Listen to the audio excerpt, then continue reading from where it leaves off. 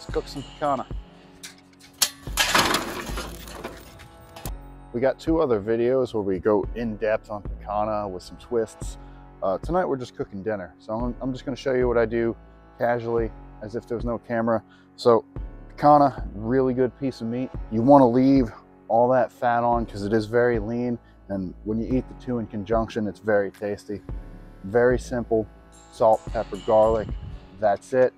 We're gonna hard sear it, take it off, slice it, put it back on slice for another sear. We want the internal temp maybe 120 tops because it continues to rise after you pull it off. That's it. We're gonna have a delicious meal. Just a light coat of salt, pepper, and some garlic. I'm gonna start fat side down, right over the coals. We got our hot side with our coals, and over here our cool side, which will come into play later. We got our green beans with some portobello mushrooms, seasoned with salt, pepper, garlic, and a little bit of truffle oil.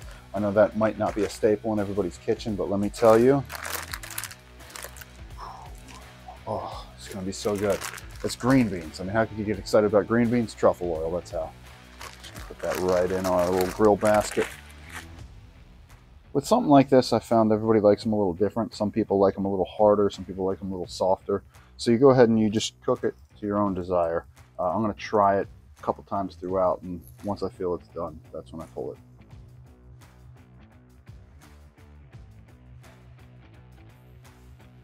I've seared all sides right over the coals. Now I'm moving it over to the cool side of the grill.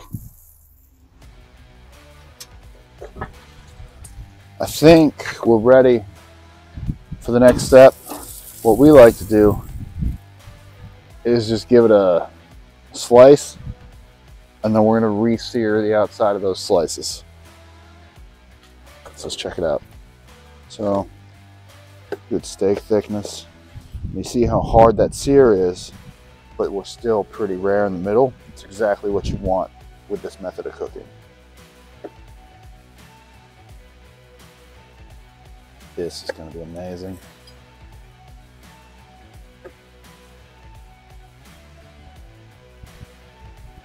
This little end piece here. It's, uh, it's what you call the chef snack.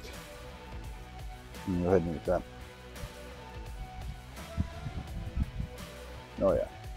All right, so these are going back on for a sear on each side, for each steak. And then we're gonna move them back to the cool side, turn it down, get to that 120.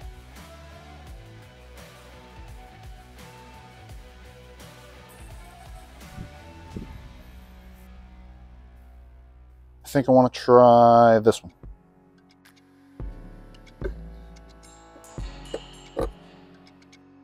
Looks amazing.